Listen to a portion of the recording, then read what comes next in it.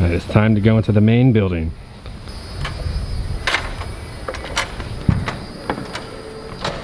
Oh my god. It almost feels like I shouldn't even be here. It's that silent. Like, dude, I, I just hear. Coronavirus! Coronavirus! We're currently at Springs. We're on a mission to go to the resorts today, but first, I'm gonna go to a place I've never eaten before. Wine Bar George's The Basket. All right, so you order right there, then you pick up right there. I'm currently waiting. They don't have paper straws. They have agave straws. It kind of looks like a dirty straw, but I, I hate paper straws because they always become like mush. Let's see how this thing is. So the chicken skewer, each one is $4 each. It comes with, it looks like a slaw salad. Spritz it over there. Oh my God. That thing is packed with so much flavor. Holy crap. So tender, so juicy. Oh my God. 10 out of 10 on those chicken skewers. This is $8. This is a, this is a lot of fries. So it's got, looks like chives on top, bacon bits, and a avocado crema. All right, we got a little bit of everything. The crema is really creamy. It's not, the avocado flavor isn't overpowering. The bacon is nice, but when it comes to the actual cut of the fry, they're all right. They're not my favorite french fries, but I think altogether, they're decent. Like if you're, you're hungry, for $8, holy crap, that is a good deal. If, if you're having an alcoholic drink, you, you, need something salty, get those fries. They were so good. And please, can we all switch to agave straws? Because this sucker is not soggy. Mm, Wine Bar George the basket. Good job. So the Hangar bar just opened like two days ago. And since the cases are rising in Florida, they are no longer allowing bars to serve alcohol. So all the bars are like shutting down right now. I feel sorry if you're a bartender right now. Now, I will say, we haven't seen anyone in a fishnet mask today. Disney guests are actually wearing masks. I'm proud of you guys. It looks like Phasma sent out her trash troopers. This is Station 2. No suspicious activity. Sector is all clear.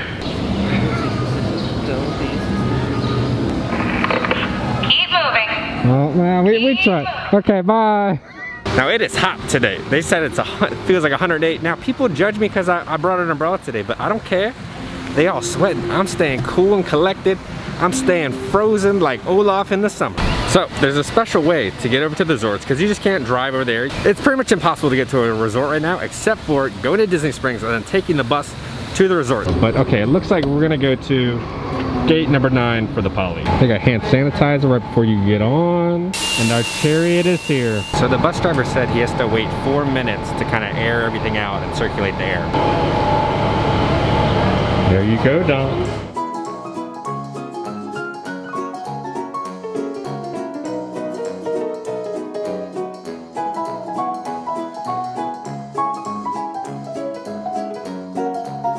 The busiest I've ever seen a Polynesian parking lot.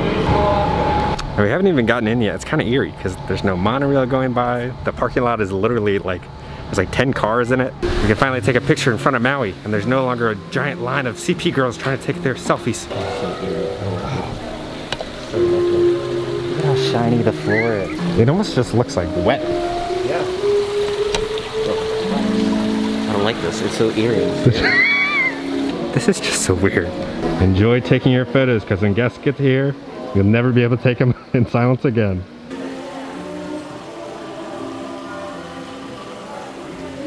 Just look, just look, look at, look at this. You could just lay out and sleep on every single couch. They don't have the little kids area where they normally have on the Disney cartoons. There's gotta be more cast members than guests here at the resort. Oh, but look, you can see the castle right there. Oh, Trader Sam's, I don't think you'll be opening for a very, very long time because you can't put all those people in there. Ohana is completely shut down. The bar is completely shut down. This place is normally popping right now. You could normally never find any seats in this waiting room. And they do still have Moana's Mercantile still open. The monorail doors don't even open.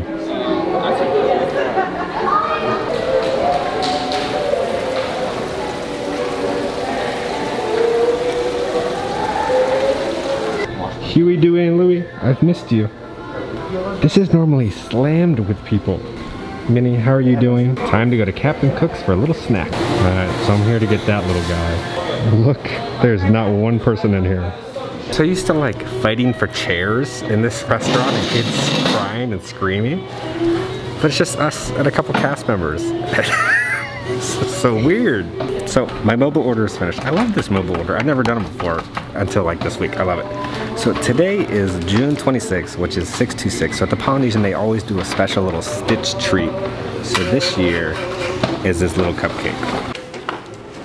Oh, look how cute he is. So you got a little Stitch surfing. That's a real, oh gosh, a real flower. Edible glitter. Oh, I wonder what flavor it is. I always feel bad ruining, oh gosh. There's something in it. I'm gonna say it's coconut. And there's definitely coconut pieces on top. I think the filling is coconut. It's a decent cupcake. They, they literally just made it. There, it wasn't overwhelming with frosting. I wish every Disney cupcake was like that. Now the one thing I really love about nobody being here and nobody being at the parks is you just have time. You're not distracted by people around you. You just have time to look at all the details around you. Like I'm looking at all these posters and they're great.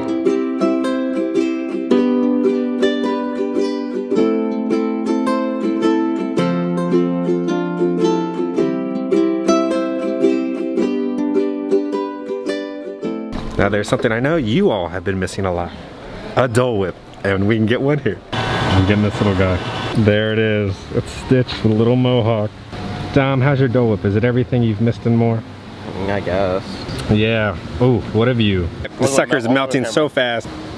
So it's not a pineapple Dole Whip. It's just vanilla with blue. I honestly think this is one of my least favorite Disney desserts I've ever had. It's just not good. I can't even fi finish it. The cupcake, we started on a high note and then went kind of downhill to Blue Milk's ugly stepbrother. Like how many times can you just sit here on the grass with not a person in sight? We've made it. Oh, so close but so far away, Jared. Look at this. Oh man, this is the freaking life right here. Like, I, words can't comprehend how crazy this is. There's not a soul in sight.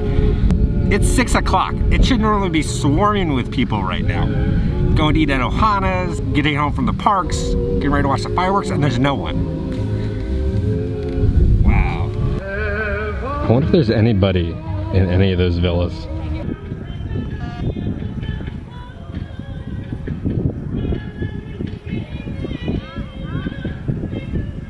The outside bar of Trader Sam's is also closed.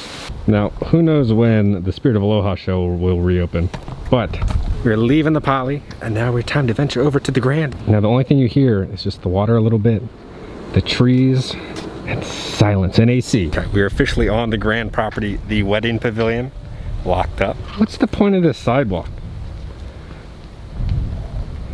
Shouldn't this be like fenced off. Look at all those dark rooms just awaiting guests to arrive. There she is. There's Magic Kingdom. Look, there are finally some guests. The beach's pool bar is closed.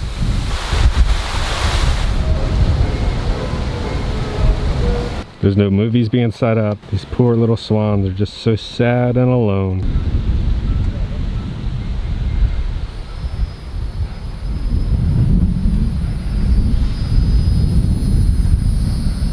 It's time to go into the main building.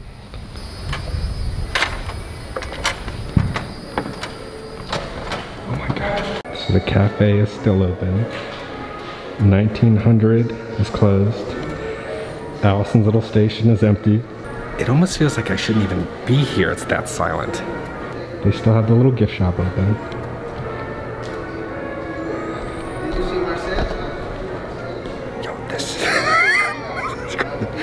This is. Oh my god, I'm, I'm speechless. Just an empty piano. Just look.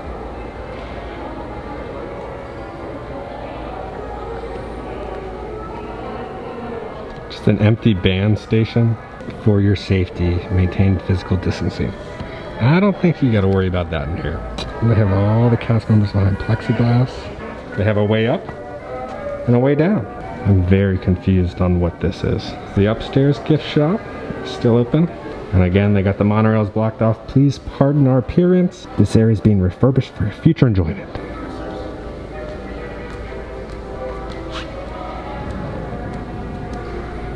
But have you never seen anything like this? Look, they have removed all of the soap from Basin. How am I supposed to get my wonderful hand scrubs? Bibbidi Bobbidi Boutique? Empty.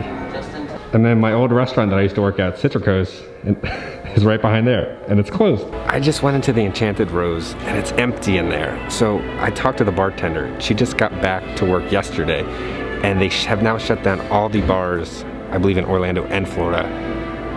So now she doesn't know what to do. What I, I don't understand. I don't know what these cast members and bartenders. I'm still furloughed, but I, what happens when these people come back and then they have to go off? Like I. Not a soul in the Enchanted Rose. Now I always find this painting very fascinating of this rainbow monkey holding its little baby monkey. It kind of stares into your soul a little bit. And Mrs. Potts will not be serving any tea anytime soon. We have found the special Harry Potter suite underneath the staircase. Cupboard under the stairs. All right, we were booking it. We were back at the Poly. The Grand was a little too creepy. It felt like Bioshock with the music playing, but we are rushing to the bus right now. And we are officially back at Springs. That was a pretty painless travel trip, not that bad. I think the bus took like 15 minutes. Now guys, currently we are home from the resorts and let me tell you it was interesting. The best way to describe these, they're kind of like abandoned resorts, is like if you ever moved out of a house, it's no longer a home, it's just a house. That's kind of like what it felt like. It was felt like part of the magic wasn't there and I know it's gonna be a very, very long time until the magic is fully back and operational. Uh, there's, again, there's a lot of stuff going on behind the scenes down here. I feel sorry for the bartenders and the restaurant workers. There's again so much stress and so much uncertainty every single day. When July 31st hits, then our unemployment runs out, and then every single cast member and their mother is gonna be looking for a job down here. Yeah, it's gonna be uh, it's gonna be interesting.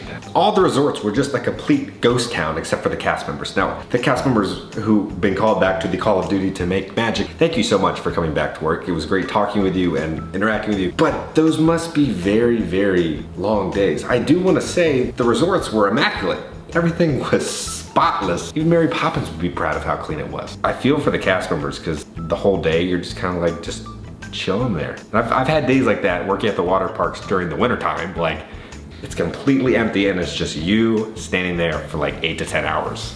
And this is like until who knows when. Now currently the only people at the resorts are Disney Vacation Club guests and they had made a reservation way back in time to this current time. There's a lot, it's kind of convoluted with who can stay and who cannot in the reservation system. Now being at the resorts was one of the coolest, eeriest experiences I've ever had. It's definitely a once in a lifetime just being at an empty resort. I thought the bus situation was really nice. The bus driver almost became like a seater. He loaded us in each group by group and they also had like little sneeze guards in between each group. So if you want me to go visit some more of abandoned Disney resorts, make sure to give the video a like. Haven't already, make sure to subscribe. See you all very soon.